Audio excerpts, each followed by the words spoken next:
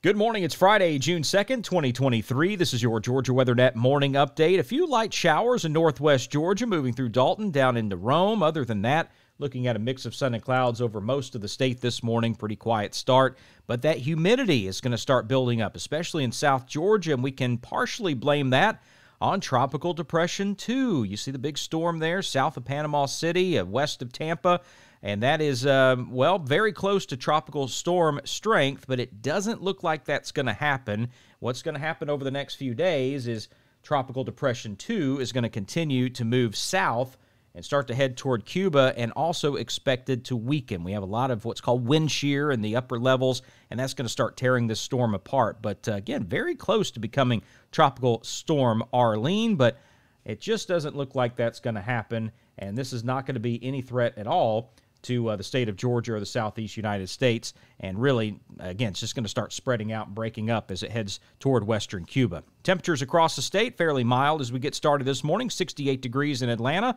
Albany's at 63, Savannah 64. We have 64 degrees up in Gainesville, and Toccoa's at 63. So mainly low 60s across the state as we get started. The modeling not a lot going on, even those light showers in northwest Georgia really not showing up. So we're expecting those just to continue to dissipate over the next few hours.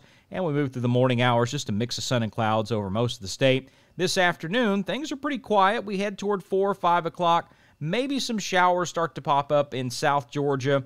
We start to see a few little dots here and there between Albany and Waycross and then we head toward 8 o'clock, maybe a couple of showers as well. So, again, not a whole lot of instability out there to get these storms fired up. We do have pretty good amount of um, moisture in the atmosphere, especially in South Georgia, as we move through the day today. That'll help a little bit, but for the most part, we're going to stay rain free. Overnight tonight, a few clouds. We start out tomorrow morning about the same as this morning, but then some showers start to develop, mainly in southeast Georgia by tomorrow afternoon. Scattered showers possible tomorrow evening anywhere across the state, although the rain chance is pretty low for tomorrow.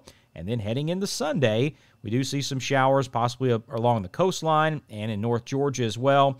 And again, the modeling here, this is not the high res modeling. So if we see any of the clusters of green anywhere nearby, well, just know that you have that chance of rain. So look out for a few pop up showers as we move through the day on Sunday. And then the little storm system beginning to develop up in uh, middle Tennessee. That'll drop a few thunderstorms down into parts of northwest Georgia by Sunday evening. That's the latest from the Georgia Weather Net. Now, your local forecast from northwest Georgia to southeast Georgia.